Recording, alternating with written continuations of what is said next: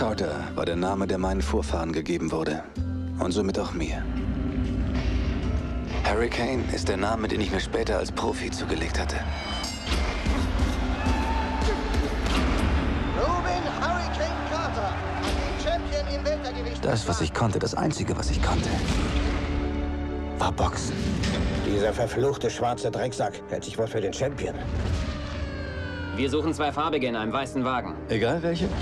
Sehen Sie genau hin, Sir. Sind das die beiden Männer, die auf Sie geschossen haben? Er hat Nein gesagt. Sehen Sie genauer hin, Sir. Robin Carter, Sie werden hiermit zu einer lebenslangen Haftstrafe verurteilt. Ich bin unschuldig. Ich habe kein Verbrechen begangen. Das Verbrechen ist an mir begangen worden. Ich bin tot. Begrabt mich doch einfach. Bitte.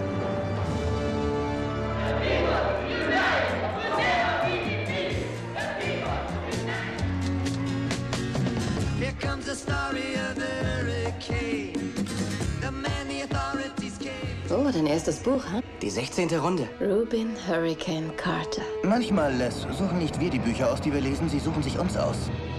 Sehr geehrter Mr. Carter. Ich habe Ihr Buch gelesen. Ich würde Sie gerne einmal besuchen kommen. Glaubst du, ich habe diese Menschen umgebracht, mein Junge? Ich weiß, dass Sie es nicht waren. Zwei Jurys haben ihn für schuldig befunden. Aber der Mann ist unschuldig. Er sitzt seit über 15 Jahren im Gefängnis. Das ist nicht richtig. Es ist sehr wichtig, über das, was uns festhält, hinauszuwachsen. Kann er uns sehen? Ja, Eins verspreche ich Ihnen, wir werden nicht ohne Sie gehen.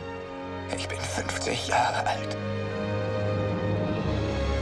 Euer Ehren, dieser Fall wurde auf einem Haufen Lügen aufgebaut. Ich war 20 Jahre in einem Käfig eingesperrt. Gerechtigkeit, mehr verlange ich nicht. Hass hat mich ins Gefängnis gebracht. Liebe wird mich rausholen.